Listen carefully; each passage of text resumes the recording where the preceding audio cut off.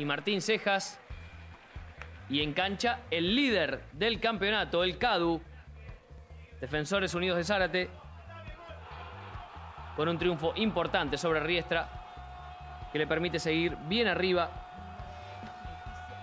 en el campeonato. Tiene 48 puntos el CADU. Muchísima lluvia en Zárate, un temporal como les contaba. Santiago Davio el primero, Fabián Monzón el segundo y bajo la lluvia torrencial, Daniel Casais el tercero para el CADU sobre Riestra. Hay gente que quiere ver qué pasó entre defensores de Belgrano y Temperley, un duelo